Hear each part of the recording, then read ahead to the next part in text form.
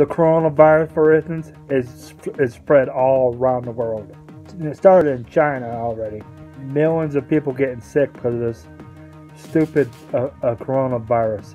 I'm not really ha- happy about this. I am. I'm not about to get sick myself. No, I'm not gonna get sick.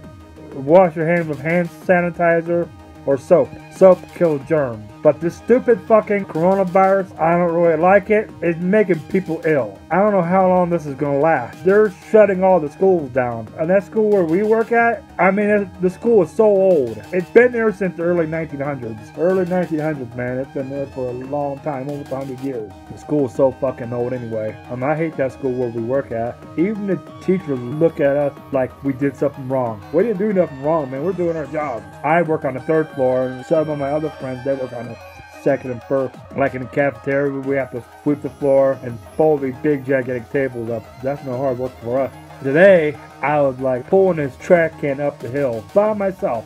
I didn't have nobody to help me. I was so mad I was ready to scream and yell at somebody. Uh. This person I know, his name is Chris Howe. He never helped me whatsoever. He's like saying he helped me. I, I didn't see him helping me. That's a dumbass lie in the first place. I mean, this guy I know, I worked with for the past couple years.